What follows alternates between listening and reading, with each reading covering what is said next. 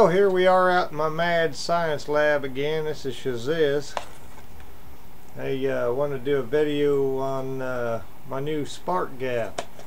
If you uh, ever get a hold of one of these old burnout uh, G bulbs, it's a uh, halogen bulb, um, sealed be beam lamp get one that's burned out makes a perfect uh, vacuum spark gap for your Tesla coils let me uh, spin this around over here.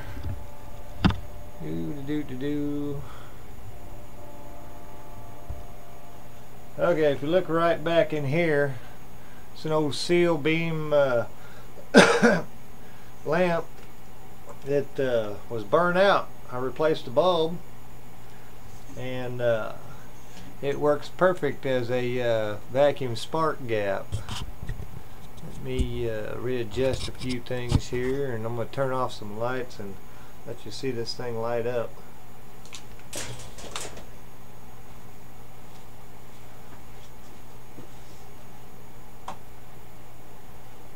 Okay, lights are off.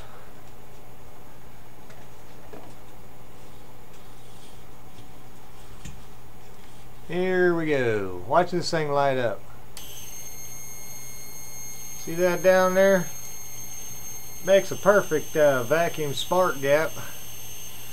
And, uh, even helped me out uh, increasing the power over here on my uh, Shazizz coil. It's working out really well. Anyway, I wanted to make a short video to show you that. See how that works out uh, lighting up the room pretty good. All my fluorescents, my plasma ball. okay, let me uh, zoom this over over here. See if I can get that.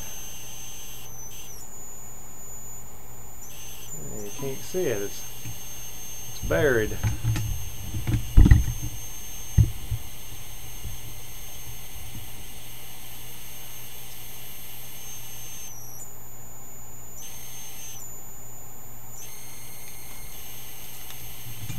Uh, I was just going to show you my mercury vapor bulb there, but my cord ain't long enough for some reason.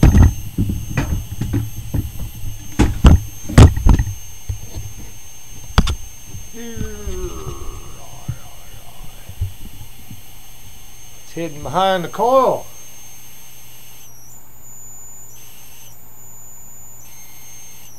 Can't see it. There it is. That's my mercury vapor bulb.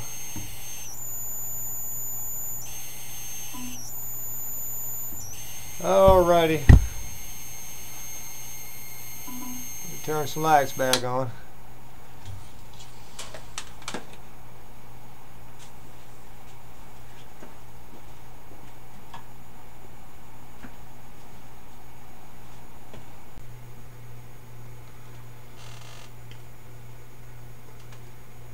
Okay, I'm back. Uh, like I said, that was a a G all glass sealed beam lamp.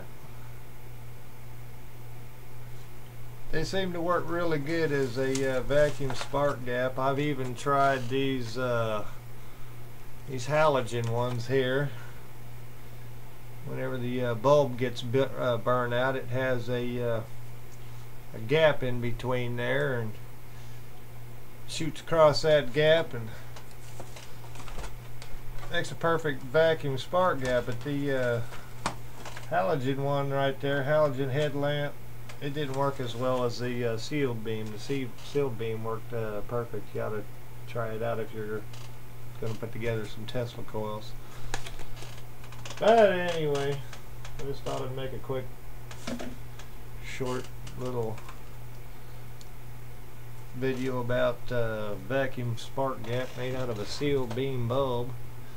I actually kind of did a little more work to my lab. Kind of cleaned up around. Can't really tell. yeah, reorganized a few things.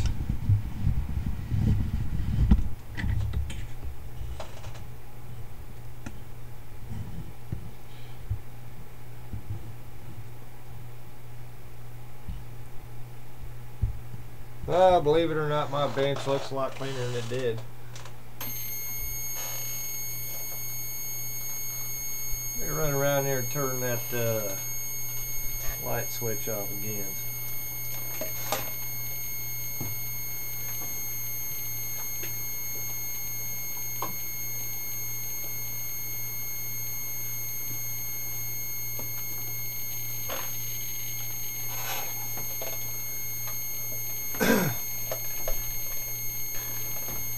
Can hear that puppy humming.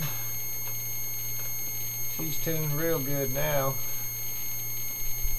But that's all due to that vacuum spark gap that I made out of the uh, seal beam tube. I couldn't get a decent spark gap on it any other way. I tried, but look at that. Ain't that cool? My plasma ball with 20,000 volts, 20K. All those fluorescent lights right there and everything. It's all running off that battery, 112 volt car battery right here, and this Shazizz coil's not even powered, it's just grounded like I told you in the video prior. It's doing its job. You hear that puppy humming. I wish you could see the uh, adjustable spark gaps that I got on the side there. I wish you could see them marking across. You could probably hear them. Let me uh, run around turn the light back on. I'll point those out to you.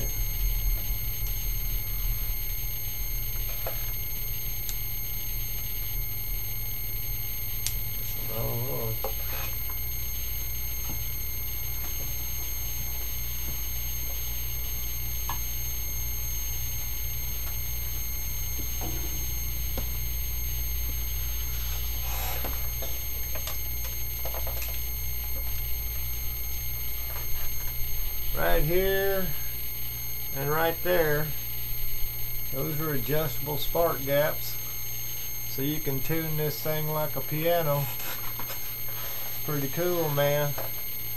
I guess uh, there really ain't no sense in this video other than the fact that uh, I wanted to tell you you could make a, uh, really awesome uh, vacuum spark gap out of a old uh, sealed beam light bulb that's burned up don't go out and buy a brand new one that uh, you're going to burn up. Just uh, wait for somebody who has a sealed beam light in their vehicle to have a bad light bulb and say, hey man, don't throw that away. don't throw away nothing because uh, wait till you see what I'm going to tell you. You can do a lot of different stuff that uh, most people consider to be junk. Anyway, uh, this is uh, signing off. Y'all take care. Peace.